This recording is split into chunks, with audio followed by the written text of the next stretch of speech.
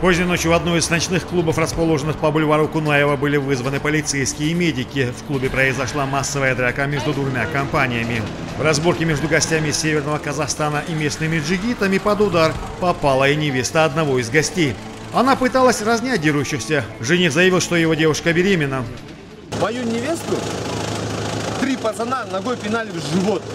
Вот она поскоро уезжает, у нее кровотечение на- началось внутреннее. Она беременна? Она беременная. В каком месте? На третьем. А из-за чего началось конфликт? Конфликт начался из-за того, что они до этого начали ко мне придираться. Представляете?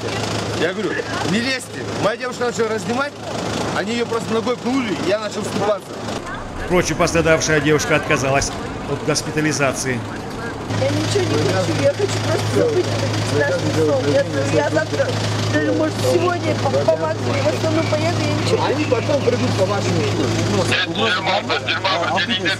Ее нервы находились пациентке. алып кетпейсіз ба енді анау келіп тұрса мынау келіп тұрса бармай не істеймін жоқ енді қазір кетті ғой мысалы бармай жатыр барып ішіп алған не керек Следственная оперативная группа собрала сведения о нарушениях в общественном месте. Пресс-службе ДВД Шимкента сообщили, что по факту возбуждено уголовное дело по статье хулиганство. Ведется досудебное расследование.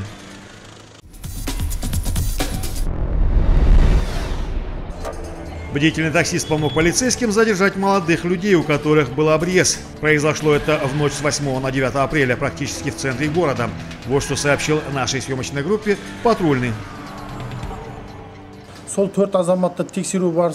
Во время патрулирования к нам подошел мужчина. Он представился таксистом и сообщил, что недавно подвозил четверых парней. Он рассказал нам об их приметах. По словам таксиста, у одного из этих ребят был рюкзак, а в нем хранился обрез. Приняв сообщение, мы немедленно приступили к поиску подозреваемых. Спустя несколько минут по улице Жангельдина мы заметили их. В ходе дальнейшего досмотра был обнаружен обрез.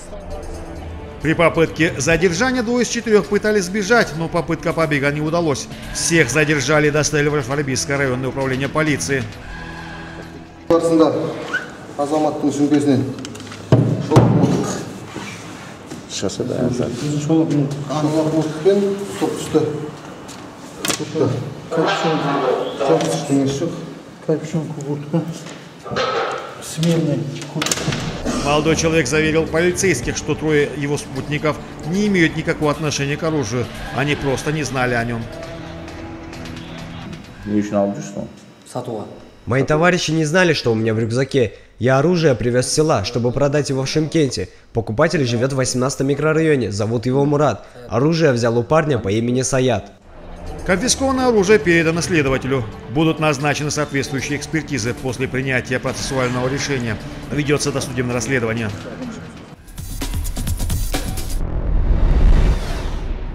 Дорожно-транспортное происшествие зафиксировано на улице Адельбекова и Маделькожа. Здесь столкнулись автомобили Toyota и Audi. По словам очевидцев, автомобиль немецкой марки двигался по улице Адельбекова. Toyota выехала с улицы Маделькожа.